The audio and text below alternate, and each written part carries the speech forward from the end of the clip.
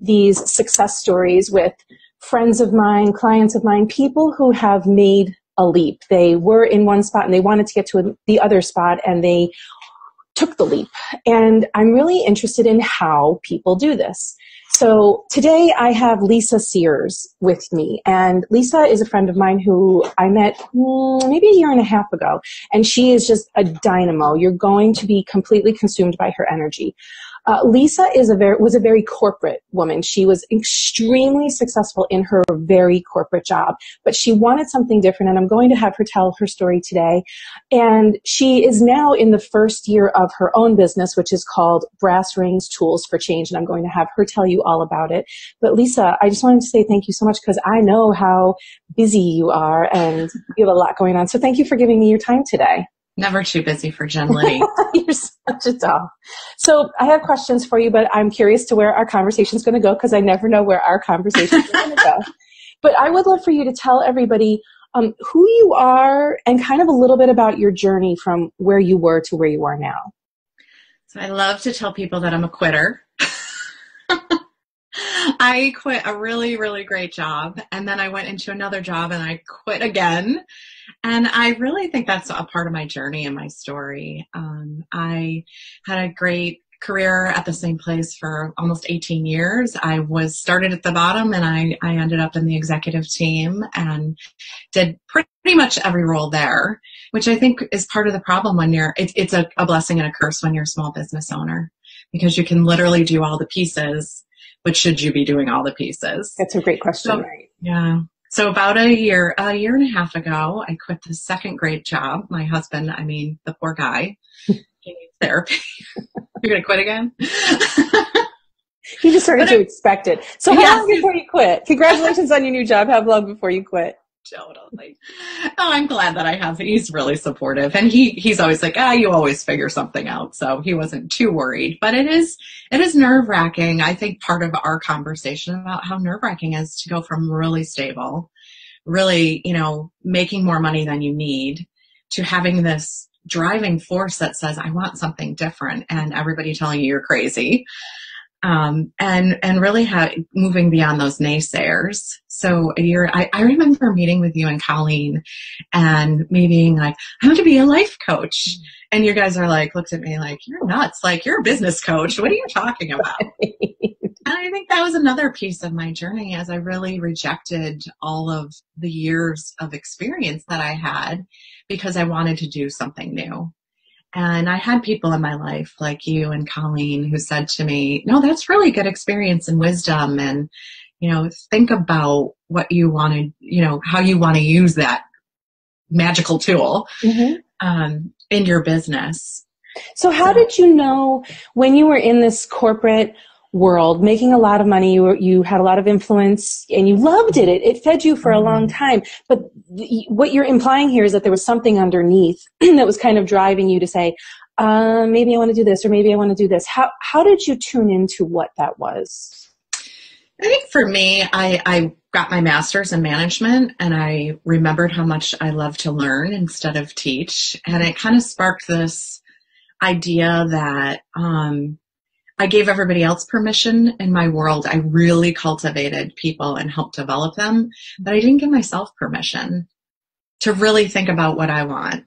Um, I turned 40 a while ago and I was like, I've, I've really worked hard at making everybody else's dreams come true and having them be happy in culture. And, um, you know, I was the person that you had six laptops broken. I'll bring them home this weekend. I'll fix them. You know, I had them spread out. And I realized I was just a lot of things to everybody else, but I never stopped and thought like, what, what do I want to do? I was like that yes man. Yeah. And, and I realized it was, I was exhausted and I could blame a lot of other people, right? I could blame that this corporate life and, and the, the pressure and really the only place putting, I had a great boss. Oh my gosh. I, he loved to collaborate with me and he really let me kind of pick and choose what I wanted, but I pick and chose everything. Yeah, um, so what I want people to hear from your story is you weren't miserable. You weren't you weren't in that situation where you had to get out but you still knew that there was something more. And you still knew that there was an itch that needed to be mm-hmm. scratched. And when you tuned in and you started to notice your energy levels and you started to notice your patterns that's when you clued into maybe maybe there's something more yeah i was exhausted i was kind of forced into it yeah. um, but i definitely i just started thinking about what i wanted to do which a lot really, of women don't ask themselves that no, question. I had never. I was like, you know, like perfect mom, perfect this. I'll show up to everything. Mm. I will, you know, and I'm I'm going to be that corporate mom that shows independent, you know, my my children how independent I can be, and and prove to everybody that I would never drop the ball. And I did. I stopped for a minute, and I was like, um, I think also being a fixer was killing me. Yeah perfection and fixing. Um, you know, and people weren't asking me to do it. I was right. not asking for help and I was just doing it. Yep. And it was a way of you felt validated in the world by pleasing other people, fixing other things, and being perfect all the time. That was how mm-hmm. you were supposed to walk through the world, right? And then it caught up with you. Caught up with me totally. Mm-hmm. Um, I think you and I have this experience of coaching other people. It's so easy to coach people when you've like screwed it up yourself. Yes. Like I'm like, oh, I got this because I did it. oh, I've been there. I've made this mistake. Oh, I screwed this up. Let me help you.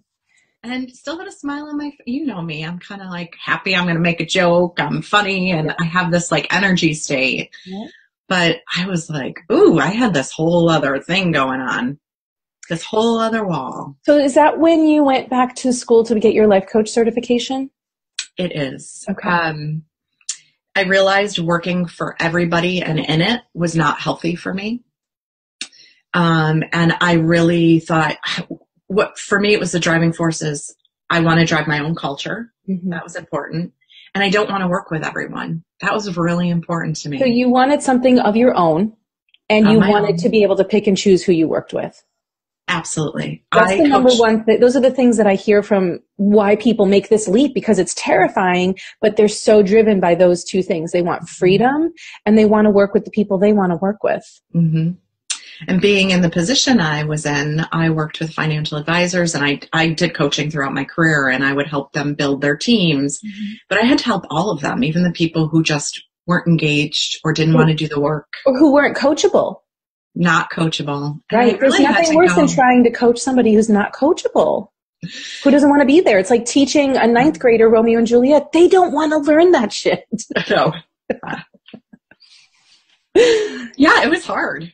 Um, and I had to show up and I, I just thought, no, I want to, I want to maybe have 10 people in my life that I can really go narrow and deep with. Mm-hmm and make a, a bigger impact. Um, I was spread thin and I wasn't able to help. You know, if I had been able to work with like five teams, I think, you know, I had my own team. I had a lot of hats. Yeah. And, and I think I wanted more in those engagements and those connections. And I so wanted to me, drive the, the needle. Yes. So that's freedom and that's, you know, but with freedom comes responsibility. So you created, mm-hmm. what you did with your coaching training was you created Brass Rings Tools for Change. So mm-hmm. I'd love for you to tell everybody about what Brass Rings does and what kind of, where you are in your company's trajectory and why it's so important that we have Brass Rings Tools for Change in the world. Well, I will tell you that a lot of the coaching I do now, thanks to friends like you, is executive coaching and business coaching. And, you know, it's my sweet spot and my wisdom and my experience. And I, I think I love helping people kind of walk slowly down their path. Mm. But for me, a year in my business, I'm like, I just did all the stuff I tell everybody to do. So I think um, Brass Rings has changed a lot, and I'm okay with that. Um, I I think we coach people to really understand their value and and and get really into what they're going to provide to the world. Mm-hmm. And I, you and I talk about, I chased a lot of stuff for six months. Mm-hmm. So my business six months ago looks very different than my business now. I really thought I was going to change the world by being a life coach. Mm-hmm. And I, I did have people in my life like you, um, and Colleen, my business partner, say, Hey, you know, maybe how do you learn how to love this because you're good at this right and and building that model so brass rings has this um, executive coaching and business coaching aspect to it. So I really either help advisors that have their own small business, um, and I help them with business strategies, but I help them tackle a lot of their mind chatter and their mm-hmm. their mindsets. And it's a lot to own your own business. So a lot of worry, mm-hmm. um, a lot of uh, you know. I I now have a company where six people's lives depend on me. I got to bring in the money, and there's that's a lot of pressure. Mm-hmm. So I have a part of my business that is very based in in kind of my natural group of people that I feel I get off a call and go, yes, that felt mm-hmm. great. Um, but I also, I, am really moving into this um, kind of programs on all the all the shit that I sucked at and learned mm-hmm. tools for. Mm-hmm. So I've I've struggled with engagement and getting to the gym and being healthy. So I put together a program around that. And I've struggled with time management. I was the queen of, you know, multitasking. My whole career was a multitask and really um, you know, all the things they taught us were, it's like when you had a baby and they say on your back now, and then you have your next baby and they say, well, now put them on their side. And now, you know, then your, your kids have babies and now it's on your belly. And, you know, all those things we taught, we were taught through the years, finding some tools that actually work, mm-hmm. um, and, and helping people with them. But I'm having the most fun with my leadership training right now. Mm. And really engaging um, I was in my late 30s when I actually got the education I really was craving as a leader and a manager. Um, my master's was really like, oh, confirmation, thank you. Mm-hmm. Um, so I'm doing that for a younger generation of managers, and I'm really enjoying that. Um, so developing so you, leaders. You're seeing the you're seeing everything you learned and helping a, a younger group of people come up with those tools, finding it earlier in their career than you did. Absolutely. Yeah. Um, because I think people crave direction and confirmation. Yes. Um, and I think new managers, we, we think they're, they're natural leaders and we promote them and then we just put them in an office somewhere. Like they're going to know what to do, right? Right. They have no idea. I, I wung it, which is probably where I, you know, kind of pushed into that perfection as like mm-hmm. trying to be perfect as a new manager. Well, you know, it takes time to develop people. So when you were leaving, um, I, and you're a confident woman. So I want to start by saying that you're like generally a mm-hmm. confident, optimistic person. So I don't, you know, we, we talk about our anxiety and how our anxiety will pop up from time to time, but we don't walk around with anxiety on a daily basis, which is different than a lot of my clients who walk around with this anxiety all the time. So for them, making this leap is often really arduous.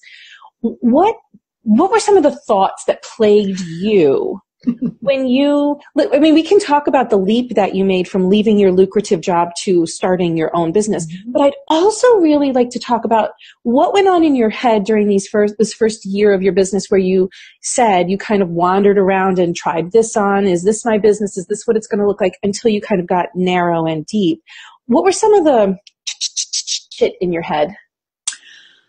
I think the first six months I said yes to everything just like I did in my corporate world. Mm-hmm. I mean, to talk about repeating bad habits. Right. I absolutely uh, sent a yes to every. I mean, I made websites for people. like, really? You know, I made my own website, which thank God someone else reskinned for me because it was not that great. But, you know, you're a new business owner. You got to put something out there. Yes. And I just seemed, you know, I wasn't really clear with setting some boundaries. And, you know, people would call me for that one hour session. I'm like, this is not what I do. Like, I want to do work. You know, I, I left so I could do some narrow and deep work with people. And now I'm just saying yes to everything. So I think when it comes to money, six months, the first six months are tough. Um, yeah. I don't know whether it's easy to come from, it's, it almost felt harder for me knowing the money I make and then I dropped.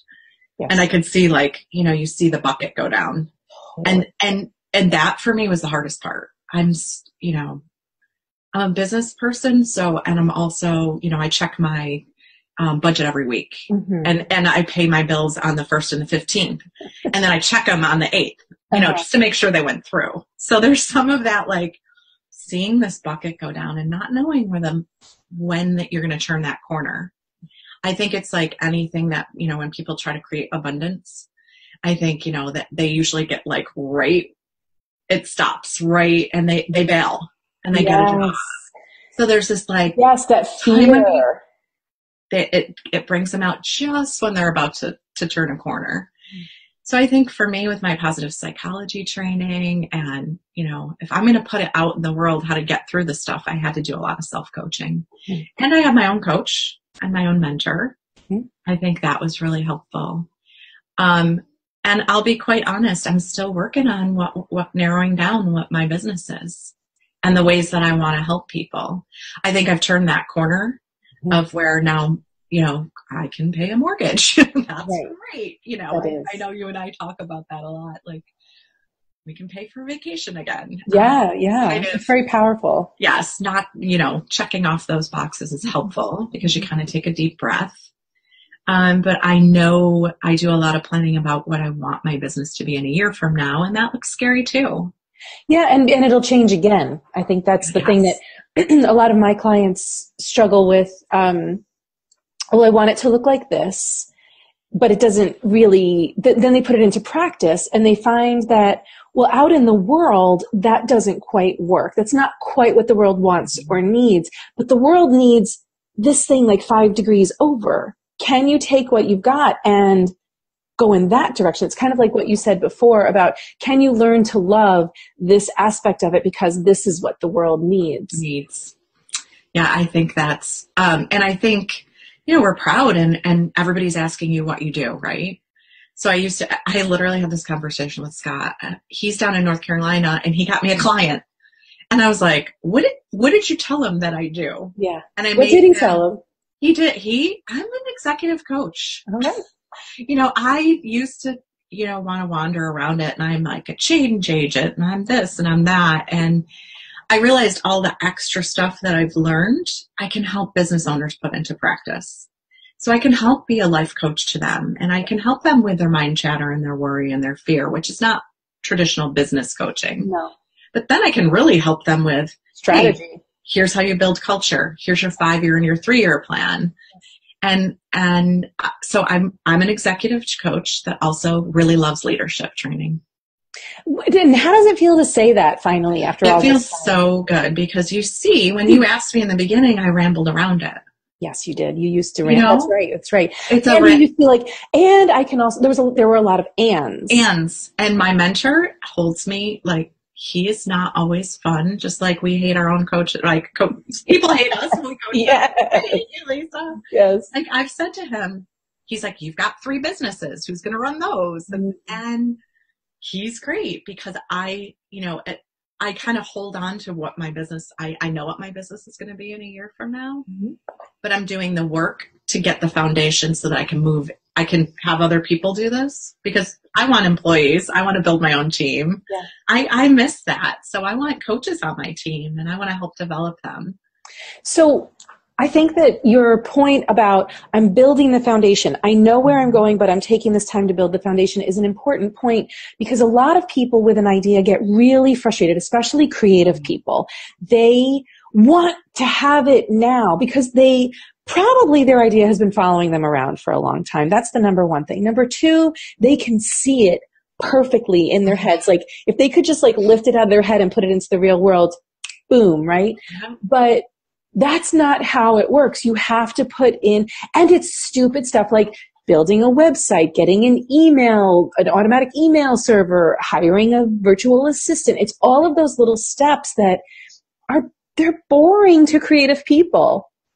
And yes, that's what, very. and that's what makes people want to jump ship also. How am I going to make money? And oh my God, I have to do all this boring shit. All this boring shit. All this boring shit.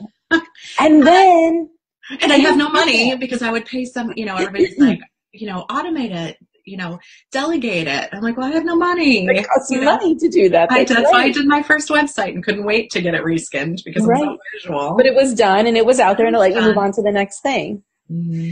So this mm-hmm. is such good stuff for people to hear because, you know, you're somebody living, living the dream that you created.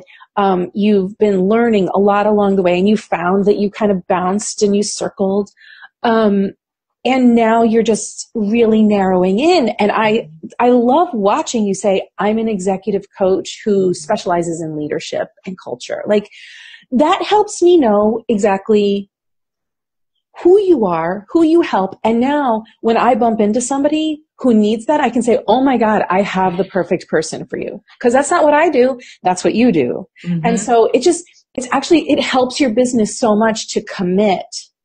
And I love the message that it took you six months to a year to get the commitment down. And that there's and no shame in that. No, and I had to wear a bunch of hats to get my business up and running, mm-hmm. but it is a relief to be more focused I, and say, well, I said I couldn't say I no. Right? I said yes to everything. So now I can say, oh no, I, you know, I don't do life coaching. I really am focused on small business owners or, you know, executive leadership that are, are doing this. But I know but a couple have, of great life coaches. right. I, I can I send you to a great life coach that I can yes. refer you to.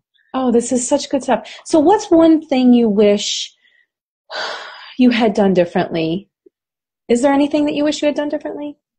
Um, no. Okay. Honestly, no. I think, I think, well, you know, I love positive psychology and. Colleen and I went on, you know, a, a six months journey into learning more about that. And I always was this positive person that couldn't articulate to other business people like I couldn't bridge that gap. So positive psychology, you know, it's the science behind wellness and, and it gives me like a very technical language that I can use with business people. Mm-hmm. So for me, it's like practicing those things. Like I'm, I've, I've had a wonderful life that has been painful and joyful. And I'm always exactly where I'm supposed to be, even in, you know, in the pain of it. And I actually enjoyed this past year because I lowered my standards of myself. And that was really hard. Like this is for perfectionist. I ditch like you know we talk about we we work on per- ditching the perfectionist. Mm-hmm. It's practice. You have to practice it. But it has been nice to be like, well, that was good enough. So is like, the thing that you wish you had? Is the thing well, that maybe you, that's it, right? Would you would you say to somebody like, you have to be kind to yourself during this process and understand that it's all you actually said this to me one time in our class. You said um, it's all just an experiment. Yes experiments. I that is one of the things i did from um, I, my coach um, tanya mundo who's amazing coach. Like everybody says coaching is so, such a saturated business. No it's thank god like you can find that perfect person for you, right? And she's right. my person. She's my role model. She's like just in front of me, a woman of similar age. I think we need those. Like we don't need the the person up here. We need the person like right here. You know, I want to talk about this for a moment because I was just listening to a mindset coach this morning before our call, and she talked about how for entrepreneurs, this seven figure mindset is a huge leap for us to make. We can, if we are, if we started making three figures a month, going to four figures is going to feel big. And when we make four figures a month, going to five figures is going to feel crazy per month. Like having a seven figure mindset mm-hmm. is a leap that many of us are not able to make because our brains just aren't wired for that. And so I love what you said, you know, find the person who's just ahead of you mm-hmm. and who can, who, who, who can, who it seems realistic that you can catch up to because by the time you get there, she's going to be a little bit ahead of you again. And I think, you know, we talk about sister companies too. I think that person that sees that you're working hard and striving there will also bring you up. Mm-hmm. Like the good ones bring you with them, right? Yes. And I, that's how I feel about, I mean, I do pay her quite handsomely. yes. She's root, she is rooting for me. She shares so much of her content with me.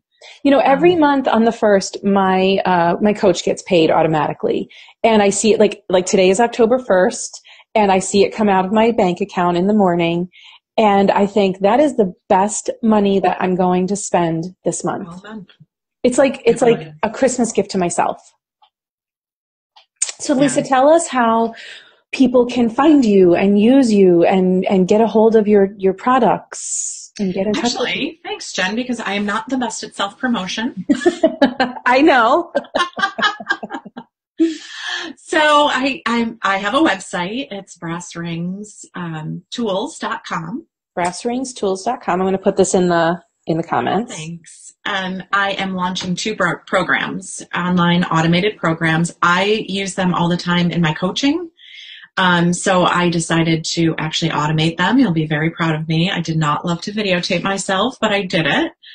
Um, so for me, two of the programs, um, one is around engagement, positive engagement. So I'm going to launch that up most likely this week. Awesome. I just, you know, the perfection has kicked in. So Yes. I think my, my You could, like- designer's like, shut up, we're going.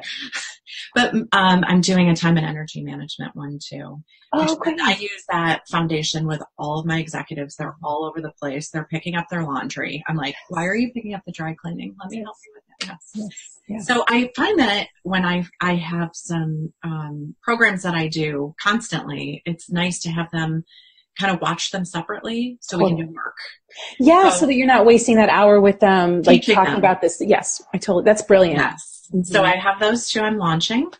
Um, they're on. They're going to go live on my website. But I also want to talk about Colleen and I. Colleen Camiso is my business partner. Yeah, so I interviewed Colleen. She was on a Oh, great. Yes. So did she talk about positive psychology? Yes, but please talk about it again because everybody All needs to hear about positive psychology. Psychology. I use it in so much of my coaching, and it's really the way our brains are wired and working with that wiring as opposed to most of us work against it. Mm. or understanding that we have negativity bias. I was, I like hopped on something so quickly the other day and I was like, oh, there it is.